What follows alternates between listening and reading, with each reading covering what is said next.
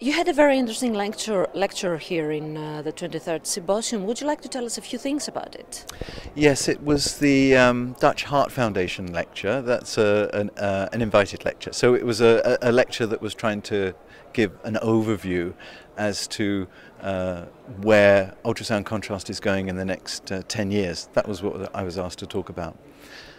And so, where is it going in the next few years? Uh, I mean, uh, it's already a very powerful tool, diagnostic tool. Yeah. And so, what are we going to see in the next decade?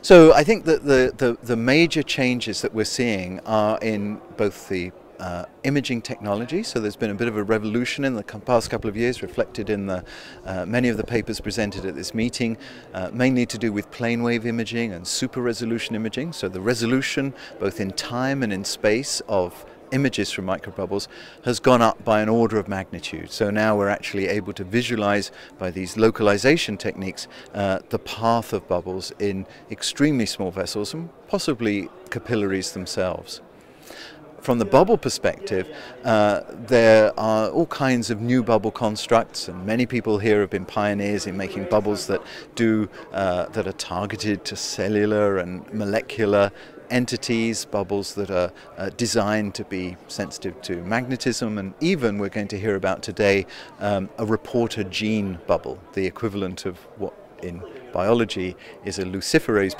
reporter gene for optical microscopy. Uh, there, there's a possibility of an acoustic uh, version. But I think that uh, the main thing I was discussing was the fact that uh, the possibility of getting a new bubble construct approved in the next 10 years um, is actually rather low. And the reason for that is it takes somewhere between two and three billion dollars to bring a new drug from scientific concept to prescription market. And for that reason, it would be optimistic for us to base our plans for the future on, on a, a new drug being made. So most of the work's being done by combining existing drugs, existing contrast agents, and existing ultrasound technology.